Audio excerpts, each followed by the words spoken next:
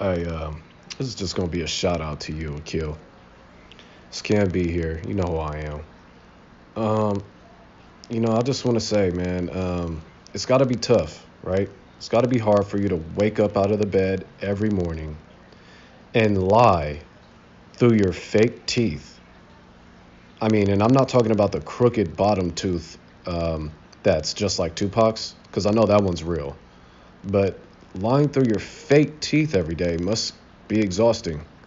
Um, I just had a conversation with another um, person. I won't tell you who, but you know, it's clear what you're doing. We know that you're sending us all these all these haters. You know, um, all these negative comments. They're all coming from your camp. I've seen your lives, your lives on YouTube where you you know you're recording yourself. You seem depressed, bro. You seem really depressed and sad. It's probably starting to get to you that people are finding out. You know, you're always telling people, "Oh man, I hate the internet, man. You know, let's go back to the days without the internet." You know what I mean? Yeah, the internet is what blasted you out. That's why you don't like the internet because it allowed people to spread the truth. We know who you are.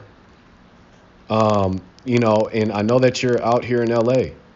Man, I gave you, I basically told you, I'll meet you anywhere. Drop that location. I'll meet you anywhere, bro. Let's talk man to man. I just got some questions for you. You could bring all the security you want, all of it. I won't record. I won't do nothing. I just want to. I just want to talk to you. Got a couple questions for you, man to man. But instead, what'd you tell me? Oh, I, I, I don't trust you. I don't trust you. I can't I can't meet up with you. Huh. Okay. Because who am I? I'm just some some some dude in Long Beach with an iPhone, right? Bro, come on, man. The gig is up, so you know we're we're we're just gonna keep exposing. We're gonna keep doing what we do. It's called freedom of speech. So you could send all the little threats you want, all the little stupid subliminals, all this bullshit. We know. And guess what? We're going to keep waking people up. So, um, you know, this is only the beginning, Pac. Um, you're you're going to see a lot more of this.